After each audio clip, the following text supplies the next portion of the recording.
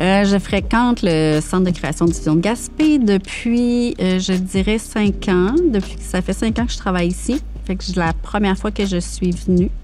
Je suis venue voir un spectacle. Le dernier spectacle de la saison. Je suis venue les aider. Et un mois après, je, je commençais euh, pour les aider à la billetterie pour l'été.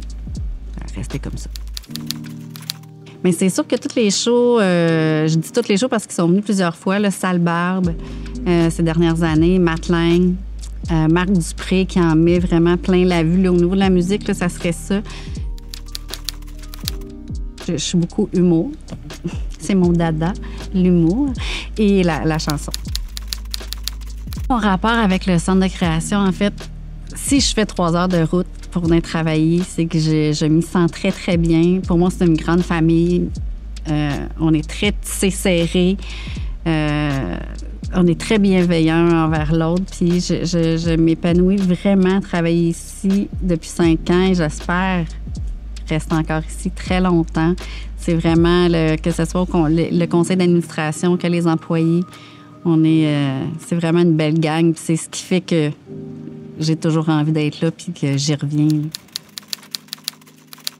Et moi, mon plaisir, c'est de voir le, le public réagir au spectacle. Moi, c'est ça qui me nourrit. Ça, c'est ma plus grande paix. Ça, ça me donne des frissons. Puis j'adore ça. Je m'assois pas dans la salle, je m'assois à côté juste pour voir d'un œil. Je regarde le show, mais je suis plus attirée vers le public, comment qui, qui, qui réagit, qui répond.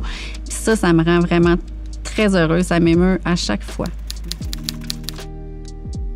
Ah, mais c'est sûr que il y a toujours des spectacles, on va dire, euh, à la blague encore, mais pour vrai, Metallica acoustique, mettons.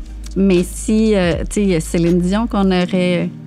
Qui aimerait pas avoir Céline Dion? Sinon, j'irais dans, dans mes souvenirs d'enfance. Moi, Indochine, c'était mon groupe que j'ai écouté tellement, tu sais, un, un groupe français, tu sais, des gens qui durent, euh, un chanteur américain, américain country qui est très populaire.